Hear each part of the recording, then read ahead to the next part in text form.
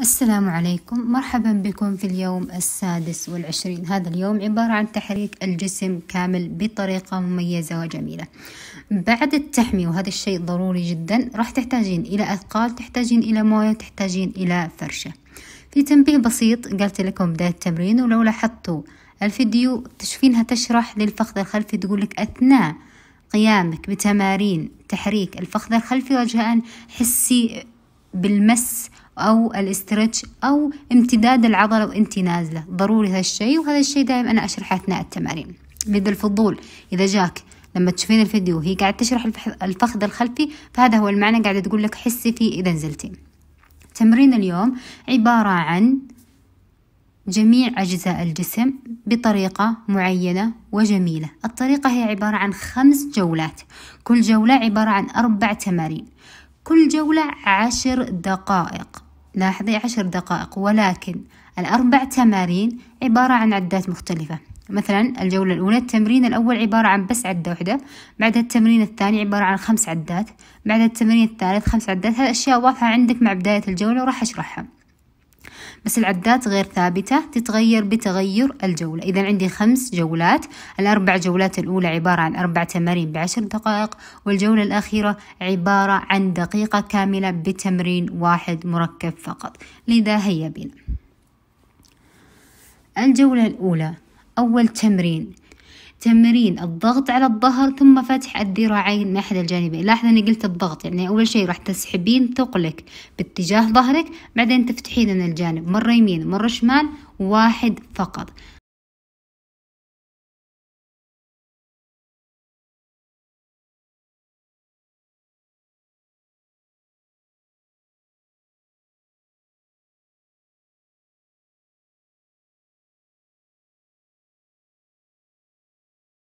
التمرين الثاني تمرين ضغط الصدر إلى الأسفل خمس عدات.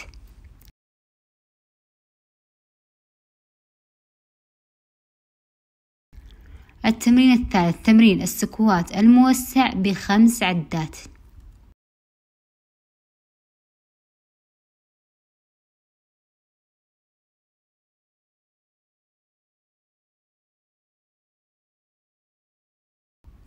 التمرين الأخير تمرين الركوع بخمس عدات. طبعا تمرين الركوع دائما حافظي على الركبة في مساحة آمنة.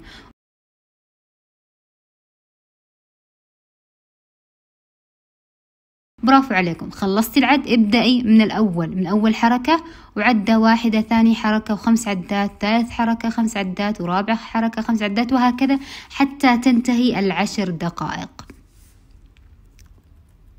لا ننسى الشهيق والزفير.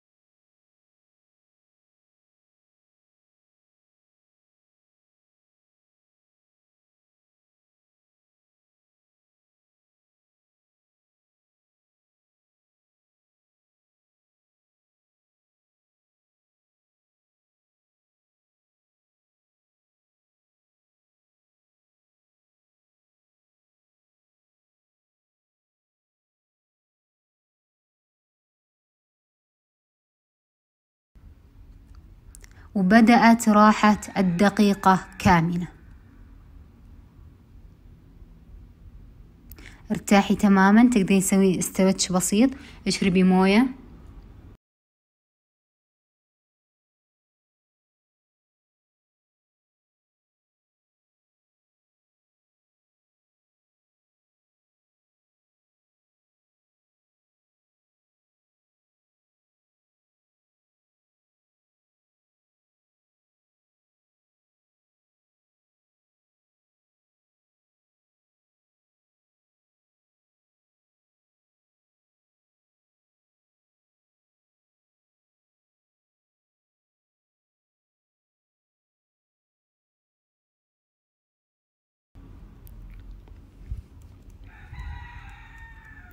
الآن راح ندخل في الجولة الثانية.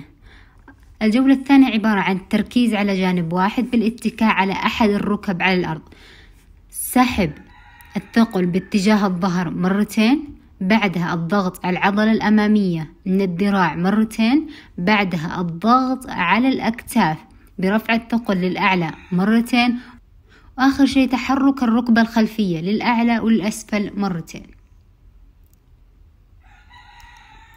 مجرد ما تنتهين العد مرر الثقل من تحت الفخذ وابدأ اسحبيه وبدل الاتجاه.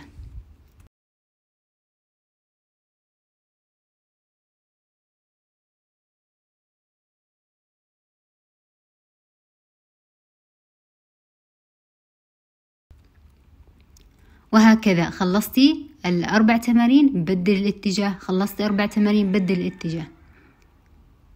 بهدوء خذي شهيق وزفير وركزي على التمرين. دائما كوني حذرة في التعامل مع الثقل خاصة إذا كان عالي ومرتفع.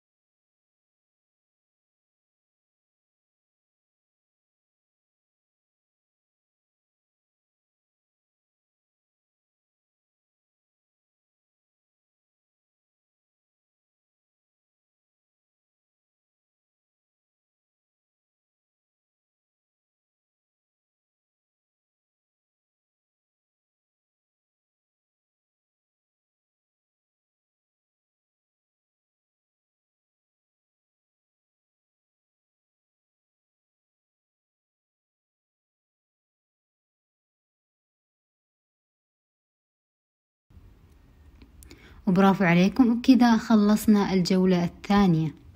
راحة دقيقة كاملة.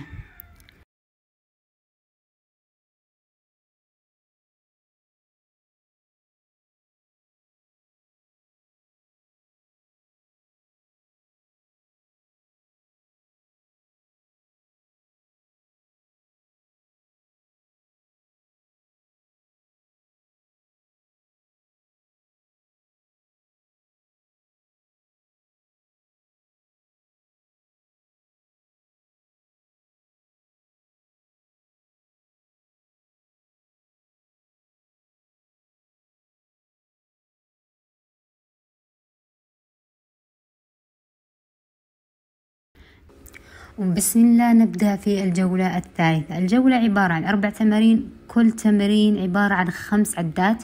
لاحظي أن الكتابة هنا على الفيديو خاطئة ما هي عدتين؟ خمس عدات لكل تمرين. أول تمرين انتزاع الثقل من الأرض بوضعية الجلوس بعدها دفعه الأعلى.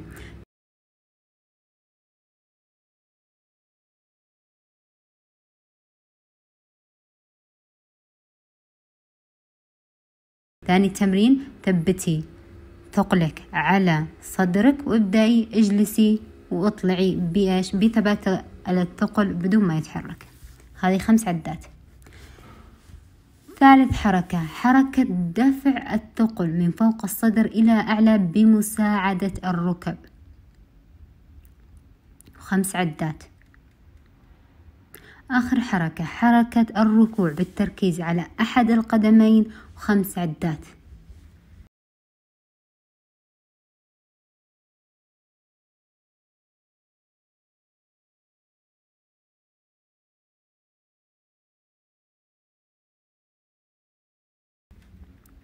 كده خلصت الخمس عدات الأولى إذا اتجه الخمس عدات الثانية في الاتجاه الثاني اللي هو الاتجاه المعاكس. للجزء الثاني من الجسم انت ركزت على الجزء الأيمن الآن الجزء الأيسر. خمس عدات لكل حركة مرة يمين مرة شمال وحافظي على ثبات جسمك على الشيق والزفير. تعبتي تقدرين ترتاحين تشربين موية بعدها ترجعين.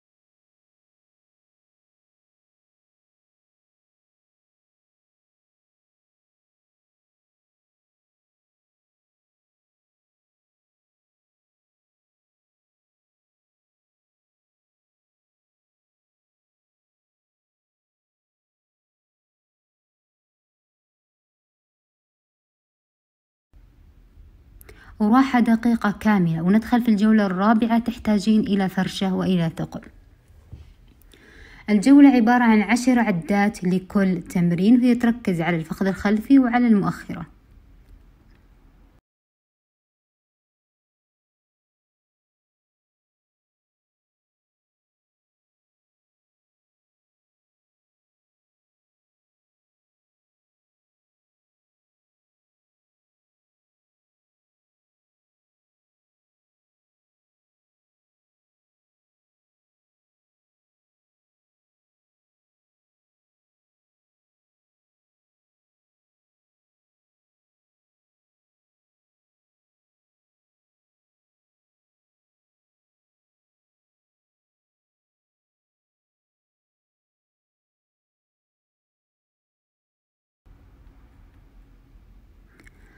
أول حركة حركة الانسداح الكامل مع بسط القدمين بشكل شبه مستقيم ويبدأ يركز على قدم واحدة. اطلعي بمؤخرتك وأنزلي.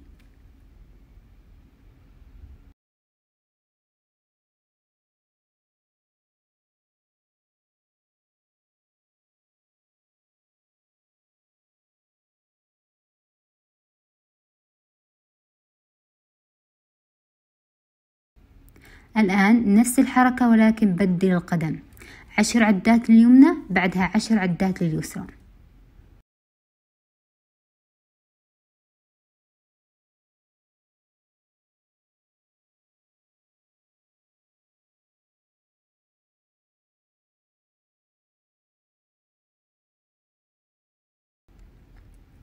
الآن الحركة الثالثة.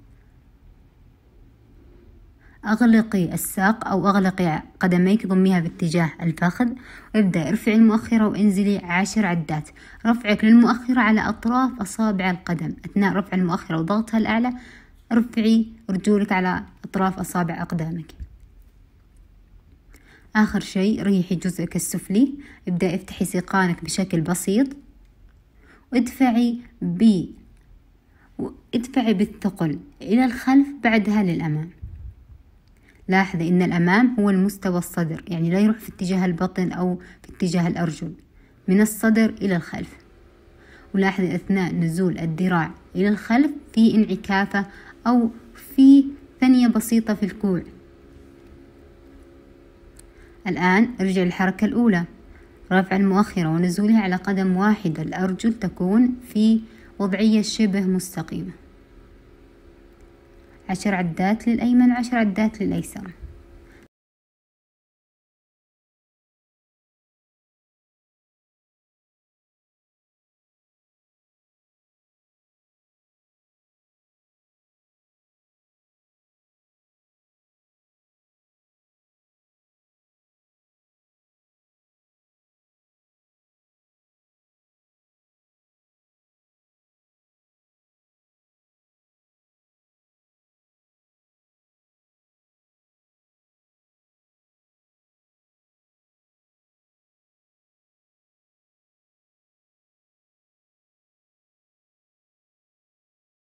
الحركة التالية بعد انقباض القدمين ارفعي المؤخرة على أطراف أصابع القدم ونزليها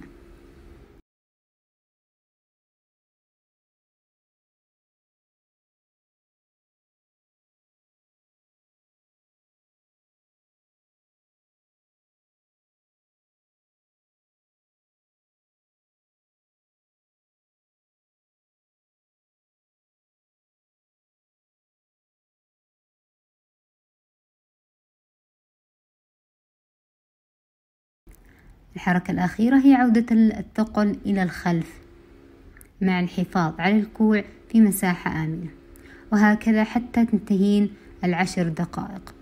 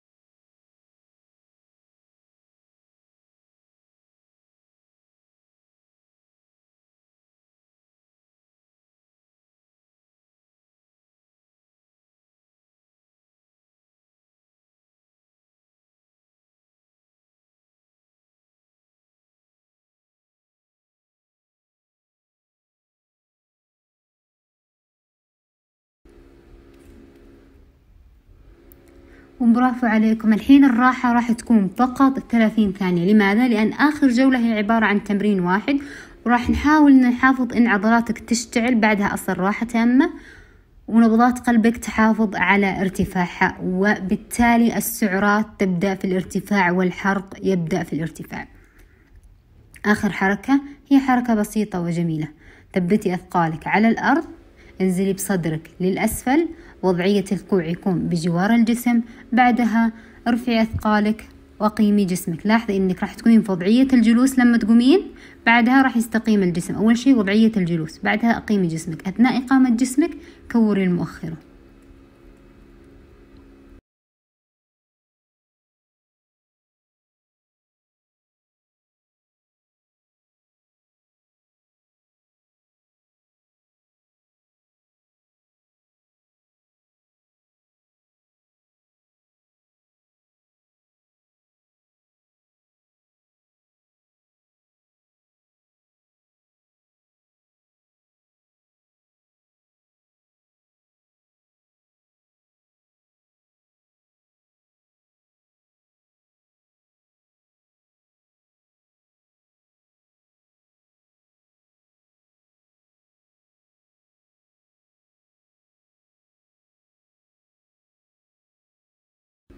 وبكذا برافو عليكم خلصنا تمرين اليوم الرائع. هو بسيط جميل ولكن ليس سهل.